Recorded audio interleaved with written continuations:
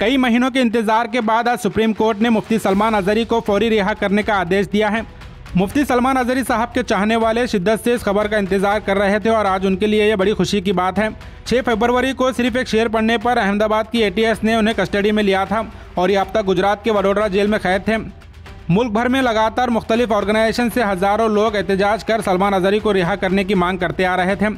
इन्हें ऑलरेडी तीन केसेस में बेल मिल चुकी थी, पर prevention of anti social activities act के तहत ये फेबरवरी से लेकर अब तक जेल में कैद थे। लेकिन आज सुप्रीम कोर्ट ने गुजरात हुकूमत के ज़रिए मांगी गई कस्टडी को रिजेक्ट कर सलमान अजहरी को वडोदरा जेल से रिहा कर दिया है।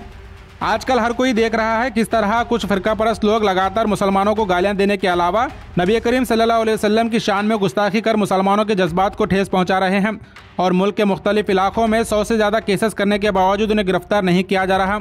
पर अफसोस, सलमान अजहरी ने सिर्फ़ एक शेर पढ़ा था जो किसी भी मज़हब के खिलाफ नहीं था। इसके बावजूद उन्हें सिर्फ़ मुसलमान होने के आधार पर अब तक जेल में कैद किया गया था। और आज कई दुआओं और गुजारिशों के बाद सलमान अजहरी साहब को राहत मिली है, जो उनके चाहने वालों के लिए बेहद खुशी की बात है।